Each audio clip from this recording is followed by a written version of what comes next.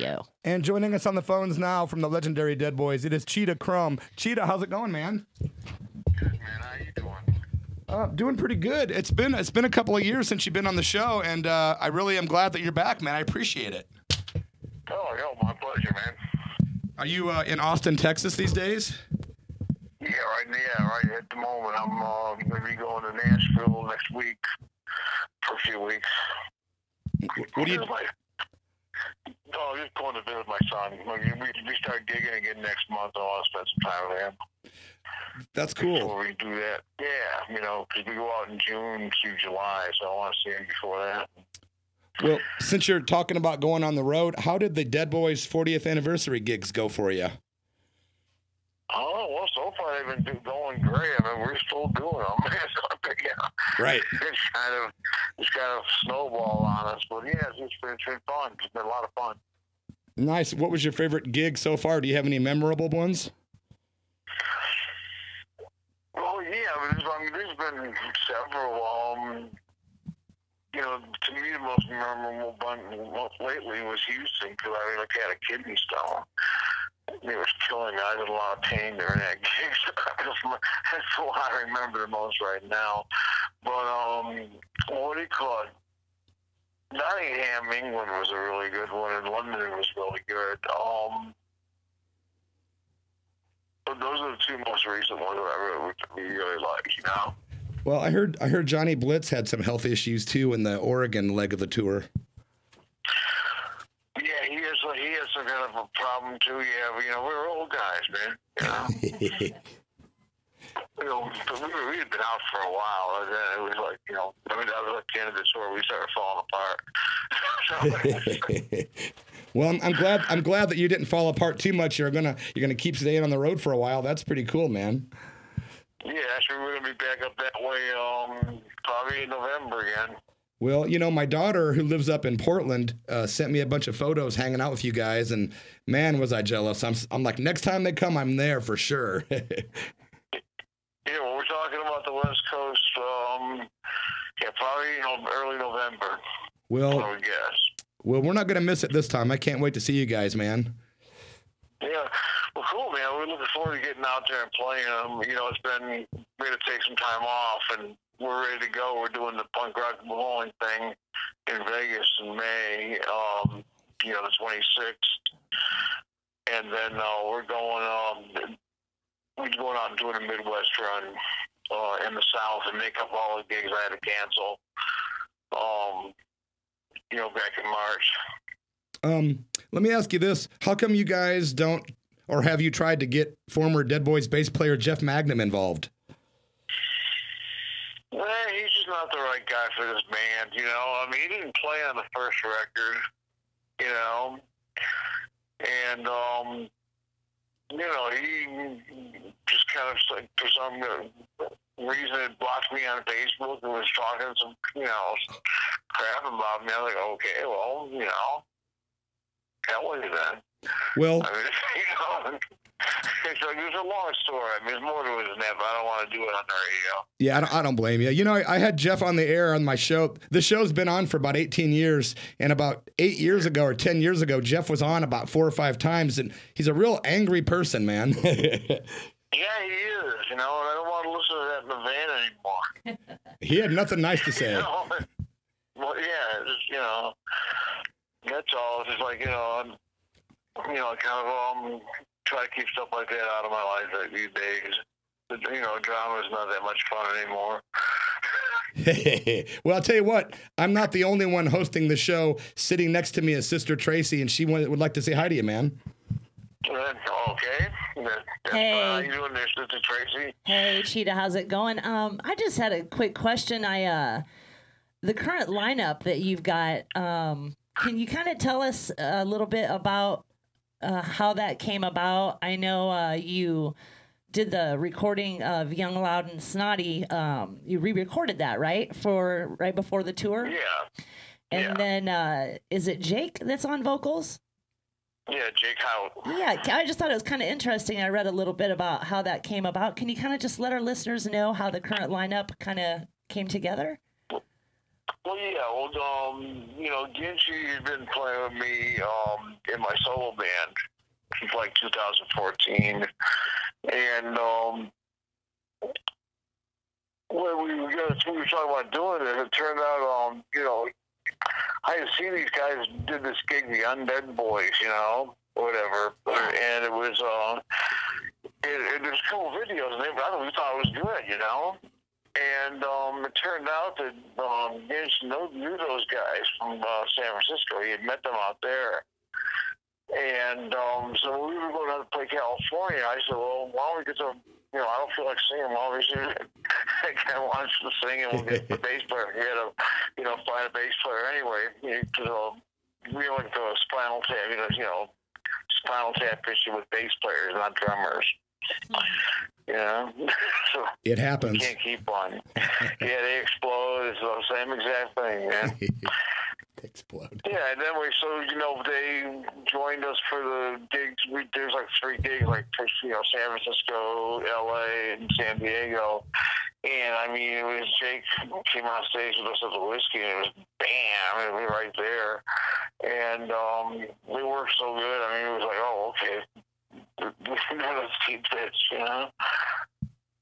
That's so And rad. That's what it evolved into. Uh, that's what it evolved into. You know, get you know, get Richie on bass, and because um, because Mike, the bass player, Mike Scanlon, he couldn't um do it because his you know his wife was pregnant. And he, you know, he didn't want to be on the road the first year, the kid, you know, the kid's um, life, which I can't blame him. And um, so you know, we, used to get somebody and got Ricky. We knew he could do it. Well, that had to be kind of uh, a dream come true for Jake. I mean, how many people like you know are in a tribute band to somebody that they admire, and then all of a sudden get to be like you know in the in the band? So that had to be a pretty big deal for him. Oh yeah, yeah. When he enjoyed it, you know, he's on. He definitely stepped in and filled, you know, the void that was there for, you know, at least for me and Blitz, you know, um, which is good because you know it's nice to have somebody out there, you know, you can trust, and you know, Jake, you know, he's just getting just better and better all the time with him. You know, so it's really, really, it's really still fun. It's still new for us, you know. Yeah, very cool. And I hear that fans of Stiv, uh, you know, like Jake, really are impressed by his his performance, and uh, you know that says a lot. You know what I mean? Yeah, well, that was all, you know, after that first week of the whiskey, like, we were a whole bunch of people, you know, were friends of mine and friends of Stu's, and they were like, you gotta keep this guy, you gotta keep this guy, you know? So I was like, you know, you know, I agree with them, but, you know, I was surprised to hear a bunch of people, certain people, I was real surprised to hear it, you know? Support? What's this support? Yeah, so it was, uh, you know, usually some people, you know, be like, you know, you can't get, you know, those that don't want me to, you know, they don't even want me to sing a song, you know. they were like, they were good with Jake doing it. right. Well, one of our one of our listeners uh, sent me a question over. They want me to ask you. Okay. Uh, Dutch in Texas wants to know if you ever knew shock rocker, scum rocker GG Allin. Oh yeah, yeah, I knew GG um, very well. Really? Yeah, yeah. Actually, um, I knew him uh, before we did the shock rocker thing because um, he had um, contacted Kenya when she first started her record label, and um, so we had been we met kind of through there, you know. And um, I did like a couple gigs up that way in his band. Uh, you know, uh, The Jabbers. for me. The Jabbers? Yeah, yeah, but this is before this is before he got dressed up and any of that stuff, you know. Yeah, I didn't see him for about two years. He came back he was like this maniac. So before he lost his mind, basically, yeah. yeah, yeah, but I mean, you know, he's always, you know, always a good man. You know, I always liked, I always liked him. Oh, you know, after after he got, you know, the good crazy rep and all that, every now and then he stopped by my place in New York, and uh, you know, he's always a gentleman, always clean. You know, That's good. so, you know. So that's good. I mean, I, I wouldn't go to any of the gigs just because you know I don't, I don't want to get any of that stuff on me. like, you know. Like, it's a little too punk rock. yeah, I you know, the, uh, you know, like, you know, I can always listen to the record. You know, like, like punk rock, so without getting shit on me. You know, even though I always, always loved. um, I always, I always love those guys. I got to ask you this too. Um, towards the end of Stiv Bators' life, I know he was living in France and and doing his thing. But were you guys in touch all the way up until the end, or were you guys still friends? Oh yeah, yeah, we were definitely uh, friends. You know, I mean, I um, we actually had plans to hook up and uh, and work on another project. You know, and uh, I guess we we going out to LA at the beginning of the year to do some groundwork for that, and then you know it just kind of wasn't to be.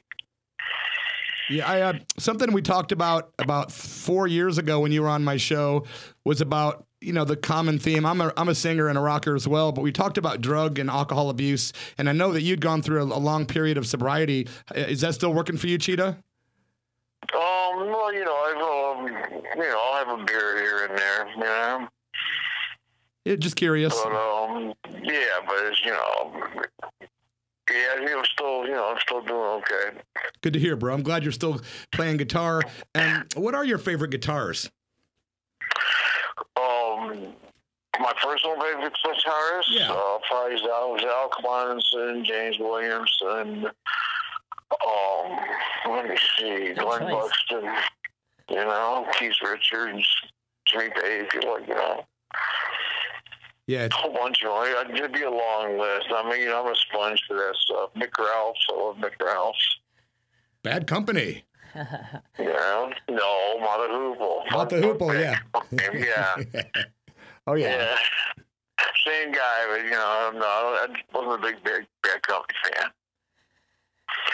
Back to Yeah. uh, back to the re-recording of the uh, the Young, Loud, and Snotty uh, record.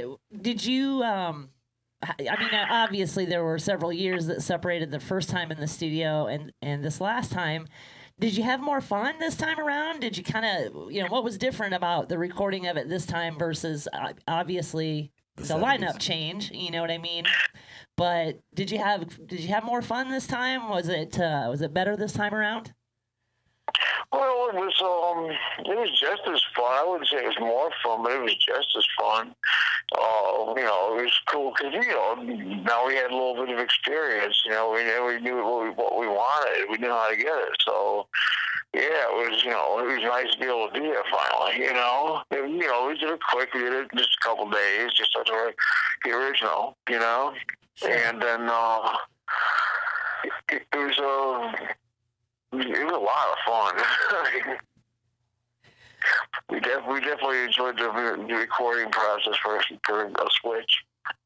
Well, cool. And it was a good way for uh, you to celebrate kind of the 40th anniversary and give the fans something to to buy at the shows. Yeah, well, yeah, yeah. And uh, you know, we wanted to do originally wanted to do a you know box set or something with the original albums, but um, that got held up.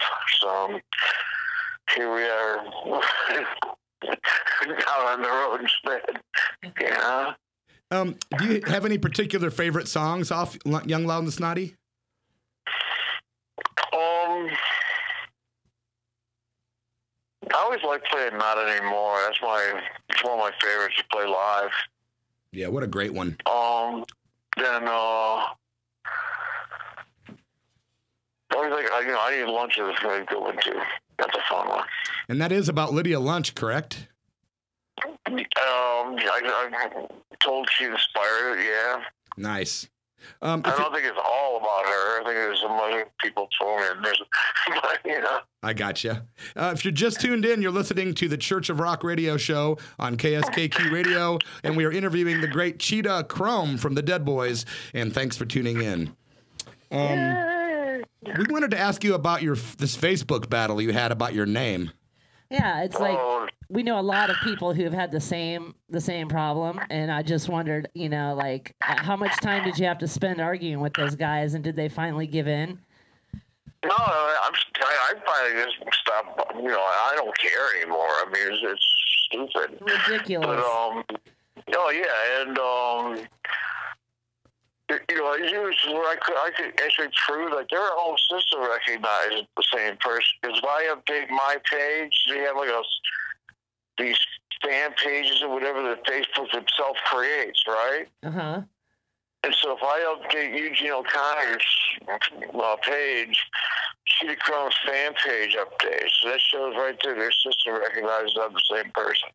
Yeah. You know? For those of you you who find a human being to explain that to that's not that's over like 19. You know, and it's like they're all like these like these interns, and you know, just got there. You know, yeah, because they'd have to they'd have to pay somebody actually. You know, they'd have to pay them decently if they got somebody Yeah. that uh, knew what they were doing. yeah, yeah, exactly. So, so you know, so they're like, well, yeah, you know, we, we sympathize. Well, there's nothing we can do about that. You can call Facebook. You know. I mean, I went in circles with them for like, I mean, you know, probably close to six weeks. You know, just, it, it was always the same. No matter what I tried, it came back to get the same form email or you know Facebook message telling me that like it's been reviewed and no can do. You know. Yeah, for our listeners that don't know, uh, we're talking about uh, Facebook and their their issue that they a couple years ago. Yeah, they they- want me to produce a driver's license and passport with Cheetah Chrome on it. yeah, to prove your basically your Yeah. name. Yeah, that you've been Yeah. using this name forever. No one knows you by any Yeah. other name. it's ridiculous. Right. Right. And it's, uh, you know, so if they really want to drag it on BS to say about it, it's still working. Everybody can find me if they want to, you know, so who cares? That's right. Um, Cheetah, do you have any any artists that are like newer artists that you're fans of by chance, or that you like? Oh. There's, yeah, there's a couple, um, couple of, I can't remember the names of them, but there's one band from Italy I liked. Ah, Maybe, maybe if I'm I don't know, you know, they, they, uh, a couple of friends of mine turned me on them, and, um, you know, I'm not sure I can't. I'd have to call one of them and get the name. Like- I got it. Seriously, I'm useless when it comes to keeping up with new music, you know? I was going to ask you this too. What are some of your favorite places to play these days? Like I know, you know, some gigs are going to be more exciting than others. Is there any place in particular that's like really exciting to play when you guys play? Well, um, you know, New York's always good. Um, Can't Toronto's always really good. Um, LA, LA's been really good for us past few years, and um, you know, we're over in England, I mean, I, I love playing in Europe. You know, it, it, you know, I love being, being in Europe. and Yeah. uh, you know, the crowds are nice and just, uh, you know, it's cool. And um, so those are the ones that stand out. You know. Yeah.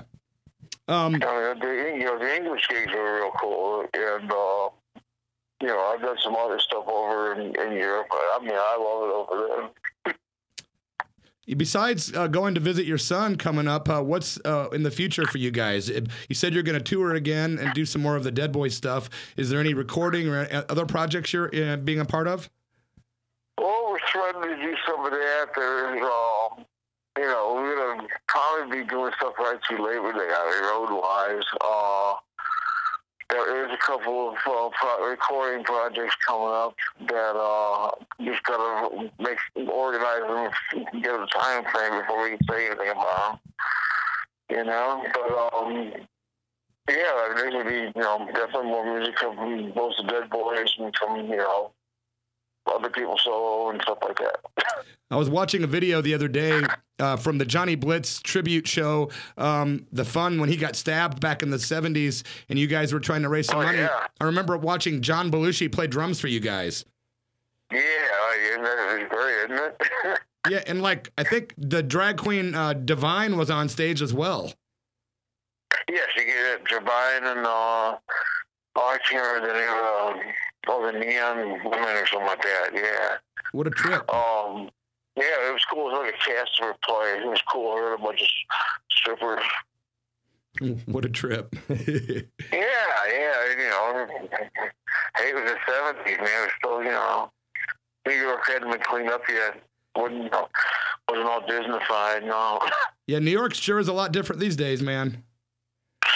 You know, yeah. I mean, it's not the same city. It's you know, to me. I mean, I lived there for twenty years, and now it's like just to stop on a tour. I wouldn't, I couldn't live there for a week.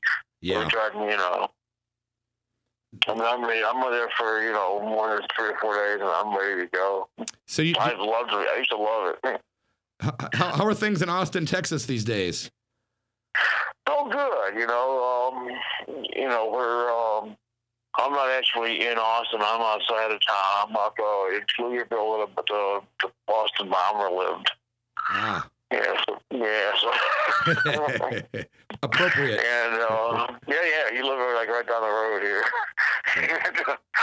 so it was, you know, but it's Texas, you know. And uh, Austin's always, you know, always not always fun town, to, you know, to be in. Lots of great music in Austin that comes out of that place. Yeah, yeah. Oh, yeah. Yeah, it definitely is. I mean, it's a great city. I just don't get down there a lot, a lot you know? Yeah. But, yeah, so it's, you know, you know, I- usually when I'm off, when I'm on the road, I'm always playing in bars. When I'm off the road, I don't want to go anywhere near, you know? So I have kind of a fan question here before we wrap things up with you. Um, Okay. the song "Sonic Reducer." I mean, it's a just a classic, you know, classic punk rock song. Do you have a? A lot of people have covered it over the years. Do you have a favorite? I know you've probably been asked this a million times, but do you have a favorite cover um, of "Sonic Reducer"? A version of it? Well, um, my favorite thing that anybody did was it was the Beastie Boys. Oh, good choice. I was hoping you'd say that. I just like I like uh, I just like what they did with it, speeds it up and all that. I mean, it's really really creative. You know, I- cool use of it. I've never ever heard that. That's a trip. Oh yeah, really? Oh yeah, BC, yeah, well yeah, it's great. It, you know, open letter in New York City, yeah. It's, 'Cause I know uh, Pearl Jam they- covered it, and a couple other band, big bands. yeah, but yeah. yeah, there is. Um, as far as like you know the that that'd probably be my my favorite use of it, just because it's uh so off the wall, so cool. I didn't expect that at all. It sounds great. Well, I think what we're going to do is uh, wrap it up for now. We're going to go into a smoke break, and then we're going to play that version of Sonic Reducer that, by the Beastie Boys just for fun, if we can find it. Well, it's not Sonic Reducer. It's called Open Letter to NYC. Okay. Okay, we'll Yeah. try to track it down either way. Hey, Cheetah, thanks for taking the time to come on our show. We really appreciate it, man. My pleasure. Thank you for having me. Yeah, and be sure to, you know, uh, we'll try to keep in touch. Let us know when you're going to be coming back out this way, and we'll have you, you know, have you on the show again. We'll do that. Yeah, much respect, and we are so so happy you're still around, and we love you very much, and love everything you've ever done, bro. I mm, mega gratitude, bro. Well, thank you very much, man. Okay, Cheetah, we have a good rest of the night. It. Yeah, God bless, brother. You, you too. God, God bless, man. Yeah. Thank you.